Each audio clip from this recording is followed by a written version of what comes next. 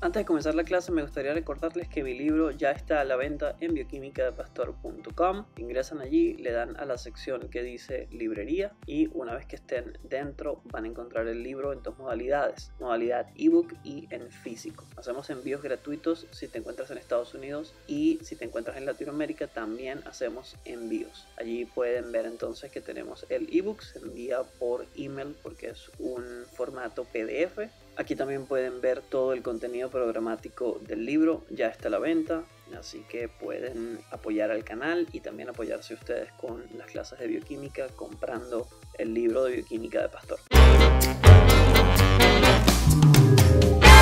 ¿Cuáles son los compuestos de alta energía en todo el cuerpo humano? Los compuestos de alta energía, todos estos compuestos van a ser todos compuestos de alta energía, todos. Pero a su vez, dentro de los compuestos de alta energía, si los comparamos con otras cosas, los vamos a dividir en de baja energía, de mediana energía, que solo es el ATP, y de alta energía, que van a ser esos que están allí. A grosso modo, tenemos el adenosin monofosfato, que si le agregamos un fosfato más, nos da adenosin difosfato. Y si le agregamos un fosfato más, tenemos el famoso ATP. Entonces tú dirías, Oye, pastor, yo hubiese pensado que el ATP era la molécula de más energía en todo el cuerpo. Yo estoy viendo por aquí al fosfonol piruvato, que es el que da más energía. Ah, por cierto, mientras más negativo sea, evidentemente, más energía da. ¿Por qué es negativo? Porque la energía ya viene comprometida. La energía ya está comprometida con el sistema. Si yo utilizo una molécula de fosfonol piruvato que, tiene, que me genera menos 15 kilocalorías sobre mol, entonces yo este, es, ese motivo es que yo quiero usar 15 de energía y si necesitara 30 usaría dos moléculas de fosfonol piruvato. Bueno,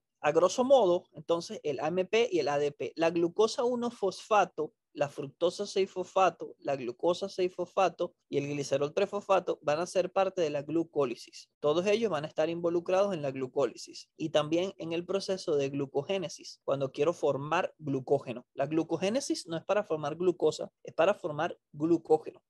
Entonces yo voy a tener un proceso en el cual siempre voy a empezar con glucosa 6-fosfato que puede pasar a glucosa 1-fosfato. Puedo tener el glicerol 3-fosfato que va a ser parte de la lanzadera glicerol 3-fosfato y también un intermediario de la glucólisis. Entonces, básicamente todos estos compuestos, salvo por el AMP y el ADP, van a ser parte de, la glucólisis, es decir, glucosa 1-fosfato, fructosa 6-fosfato, glucosa 6-fosfato y glicerol 3-fosfato. ¿Qué es el pirofosfato? El pirofosfato van a ser dos grupos fosfatos juntos, de manera que si yo a este ATP le quito estos dos grupos fosfatos, estos dos grupos fosfatos es lo que es pirofosfato. En cuanto a los compuestos de alta energía, tenemos la creatina fosfato que se encuentra en el músculo, una forma de generar energía de manera inmediata. Tenemos el succinyl CoA, que es parte del el ciclo de Krebs. Tenemos el 1,3 difosfoglicerato, también parte de la glucólisis. Tenemos el carbamil fosfato, que es parte del ciclo de la urea. Y tenemos el fosfonol piruvato, que es el penúltimo sustrato de la glucólisis. Así que mayoritariamente todos estos compuestos van a estar relacionados con la glucólisis, a excepción de estas tres moléculas que son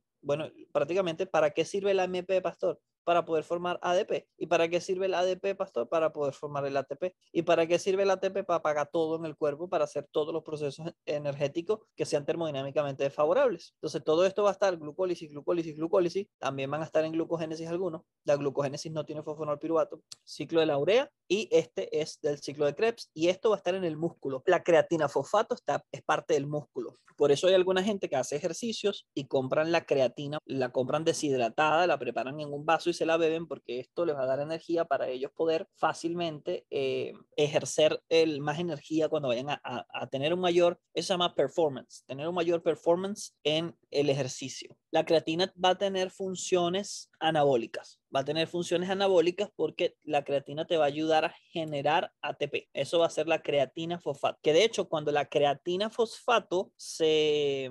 Cuando yo a la creatina fosfato la, la degrado, genero a la creatinina, que es un producto de desecho que me permite medir la función renal. Ojo con eso. Creatina fosfato genera ATP, pero cuando ya la creatina está todo en el cuerpo hay que recambiarlo, todas las biomoléculas se recambian. Cuando quiero cambiar la creatina fosfato, la desecho y la voy a desechar en forma de creatinina. La, la creatina fosfato es una forma de generar ATP inmediato en el cuerpo.